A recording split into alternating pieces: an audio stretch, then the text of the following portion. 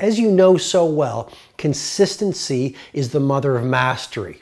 It's not what you do once every year that is going to allow you to live a legendary life.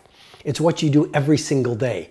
Which brings me to ritual number one, the ritual of early rising. The way you begin each day sets up the way you live each day. I mean, the Spartan warriors said it so well. Sweat more in training, bleed less in war.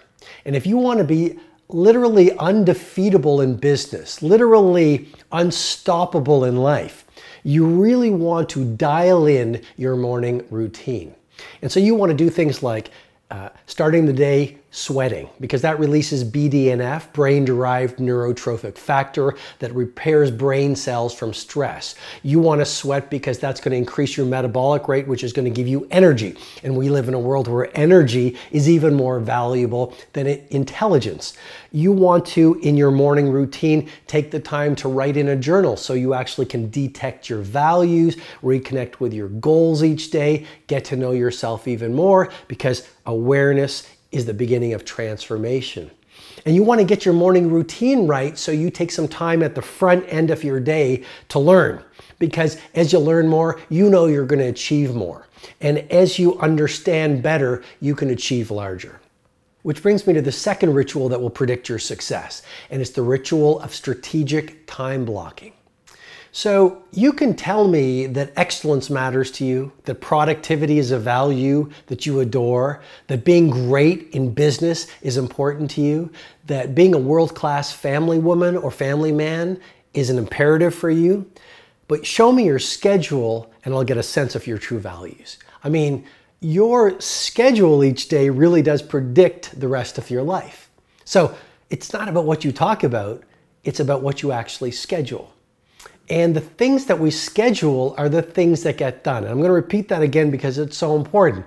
But the things that you schedule are the things that get done. There's something absolutely powerful about taking out a written piece of paper, and I like writing it, and having that map right in front of you. It's almost like a war sheet. You're like a like a warrior, and every day is a battle, but you know, obviously a positive battle, a productive battle. But you literally start to schedule out every single day. And I do it on Sunday mornings. It's like a sacred routine that I do. And I take out this piece of paper and I literally do Monday, Tuesday, Wednesday, Thursday, Friday, Saturday, and Sunday. And I call this my blueprint for a beautiful week. And actually, you don't need a formal template. You can do it in your journal. You can do it on any piece of paper. You can do it on a big piece of paper so you see it all day. And again, I like writing it out because if I put it in my digital device, I forget about it. I'm very, I'm a very visual type of a person like a lot of creative people. And so what I do is this is the ritual of strategic time blocking. I block out times at the office with my team. I block out times in creative work. I actually block that out. I block out times for beautiful family dinners with my loved ones. I block out my two massages every week. I call this my two massage protocol. It's really a great source of staying on the top of my game and having tons of energy. I block out my 5 a.m. routines.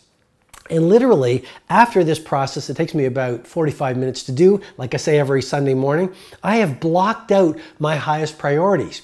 And so now I have a visual template, a visual map for a world-class week. So the second ritual that will predict your success is the ritual of strategic time blocking. Why? Because the things get, that get scheduled are the things that get done, and vague goals lead to vague results. But with precision of these time blocks and a very detailed schedule, you will do remarkable things in your week. Which brings me to the third ritual that will predict your success, the ritual of over-delivering. It is so rare in business and in society right now to see people that consistently go the extra mile. You're in a restaurant, the server generally gives you what you expect or less than what you expect. You go into a clothing store, it's what you expect or less than what you expect. You do business with any organization, it's generally delivering on what you expect, but more often, even less. So you have a gorgeous opportunity to lead the field in everything that you do.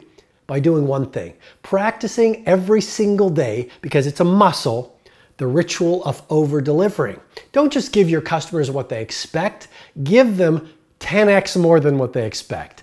Don't just give your organization what your manager, what your boss, what the organization is expecting from you. Show something that is so rare in today's economy initiative. Initiative. So you're asked to do a project, give them five more things than they expect. You're asked to give a presentation on something, go the extra mile.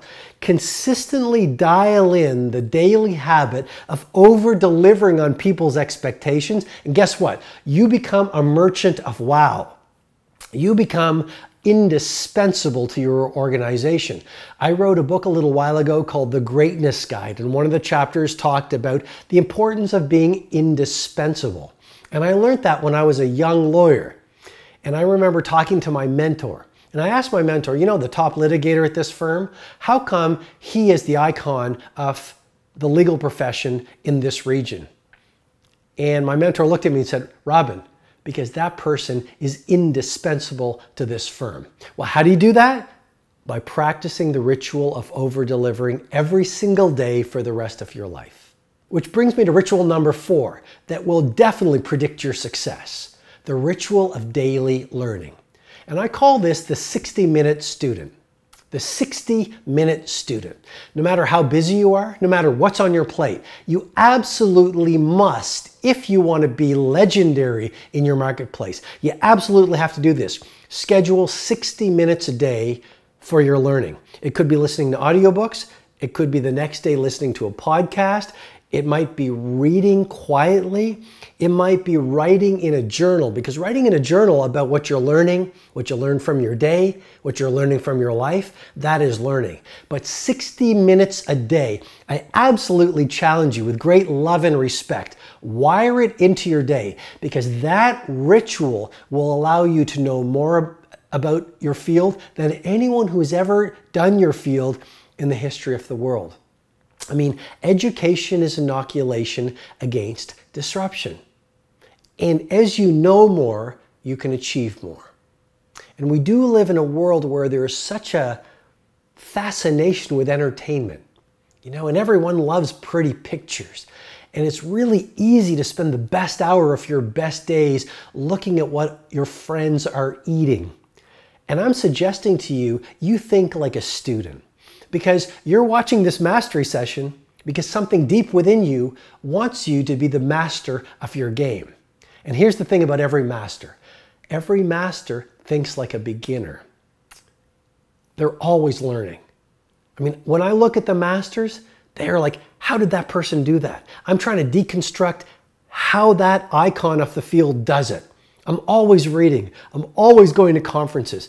I'm always having conversations with people I can learn from. So remember, the fourth ritual to predict your success is the ritual of daily learning. And don't just do this once a month, daily, because as I said at the beginning, consistency is the mother of mastery. Which brings me to the fifth ritual, the ritual of private reflection. Well, it's very easy to be busy being busy, but let me ask you, what's the point of being really busy in your work life or your personal life if you're busy around the wrong things. I mean, it makes no sense to spend the best hours of your finest days climbing these mountains only to realize on the last hour of your last day, you climbed the wrong ones. And so, what is the antidote to busyness and being reactive? It's reflection. And it's not really common in our world right now. You know, a hundred years ago, we would spend a lot of time on the farm. I mean, there wasn't a lot of technology. We spent a lot of time in reflection, you know, taking these long walks, writing in a journal, having conversations with intimate friends where would we where would we would reflect on deeper things. And I'm simply suggesting to you that the fifth ritual that will absolutely predict your success is how much time you spend in silence, solitude, and stillness. Just thinking, thinking about how you're living, thinking about how you're working, thinking about whether your daily behavior is aligned with your deepest values, thinking and reflecting about what you want your legacy to be, thinking and reflecting about what's your impact through the work you're doing. Here's a thing a great thing to reflect on. Ask yourself this question or write about it in your journal. What is the one project that if I did it flawlessly over the next 3 months would literally change the game for me within my organization and within my marketplace? But if you look at the people who are getting traction on great results, they are people who spend a lot of time alone and they spend a lot of time thinking and they spend a lot of time in this ritual of reflection.